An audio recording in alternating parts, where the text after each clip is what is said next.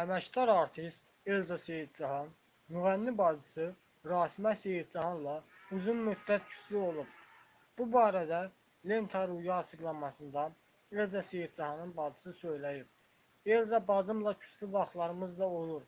Bəzən bir-birimizi anlamırıq. Bu da normaldır.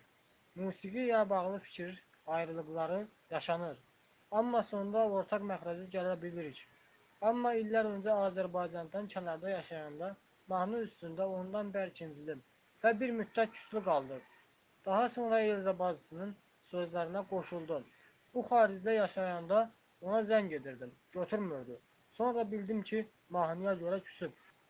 Onun üçün yazdığım Bakı adlı mahnını xalq artisti Samir Cəfərova verdim. Buna görə də bacım məndən küsdü. Sonra barışdıq.